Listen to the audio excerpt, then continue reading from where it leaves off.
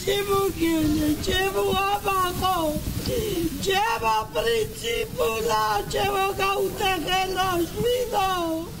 საქართველოს ეროვნული გმირის მკვლელობიდან დღეს 6 წელი შესრულდა.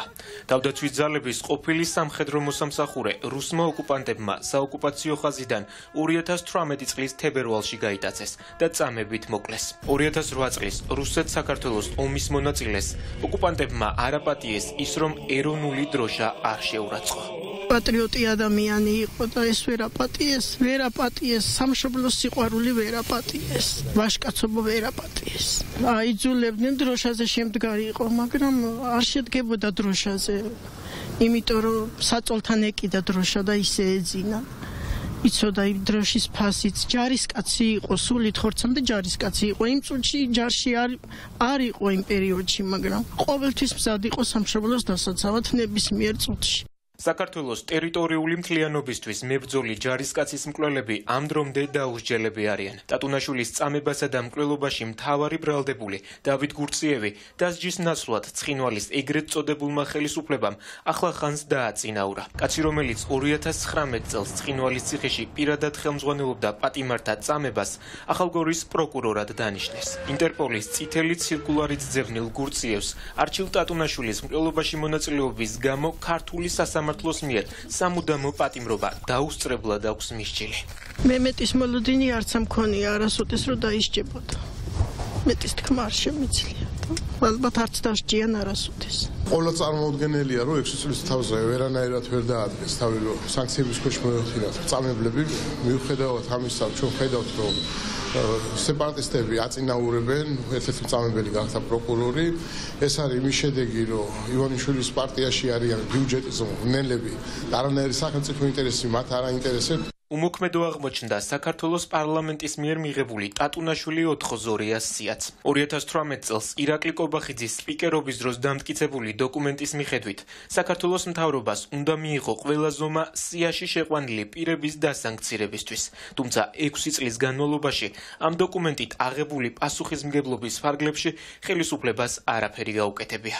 მიუხედავად იმისა, რომ არის ტატუნაშვილის სია შედგენილი ტაკოსლო ოთხზურიასია შედგენილი რომელშიც შეიძლება ითქვას 50%-ზე მეტი უკვე გარდაცვლილი ადამიანები არიან არც ერთი ახალი არაა დამატებული. ანსიაში უნდა იყოს შემიძლია ნებისმიერი დუმის დეპუტატი 2008 წლის მერე ვინც ფარი დაუჭირა საქართველოსში საომარი მოქმედების დაწყებას და ვინც აღიარა ოსეთ ეგრეთ წოდებული ოსეთისა და აფხაზეთის დამოუკიდებლობა? ჩვენ შემთხვევიდან შემთხვევამდე ვართ პასიური.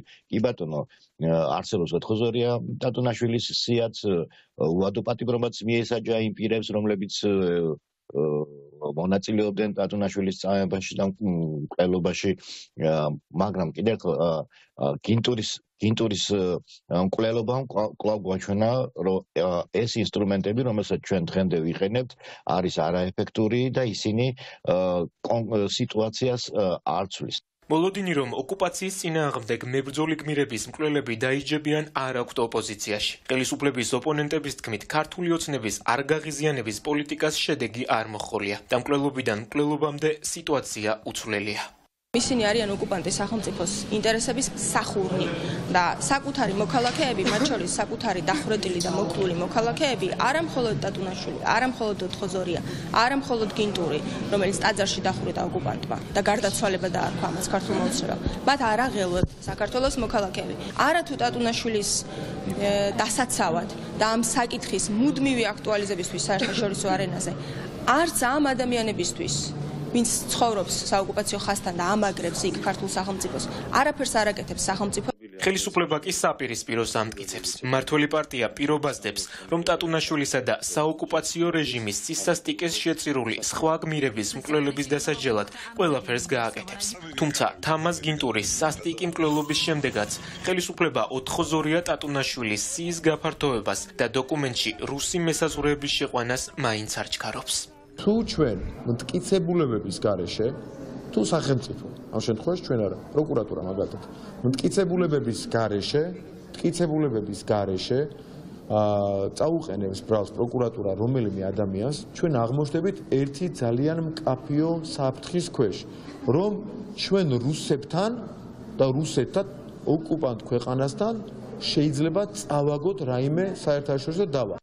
რუსეთის საქართველოს მოქალაქეების მკვლელობასა და შევიწროებას არ წყვეტს. საზოგადოება კი წლებია საქართველოს ხელისუფლების უმოქმედობას აკვირდება. ახლა მთავარი კითხვაა, რატომ არ არის ოკუპანტების მიერ საქართველოს მოქალაქეების მკვლელობა ოცნების ხელისუფლებისთვის საკმარისი, რომ დიპლომატიური რესურსის გამოყენებით დასავლეთში ოკუპირებული რეჟიმის ეგრეთ წოდებული მაღალჩინოსნების პასუხისმგებლობის საკითხი აქტიურად დააყენოს.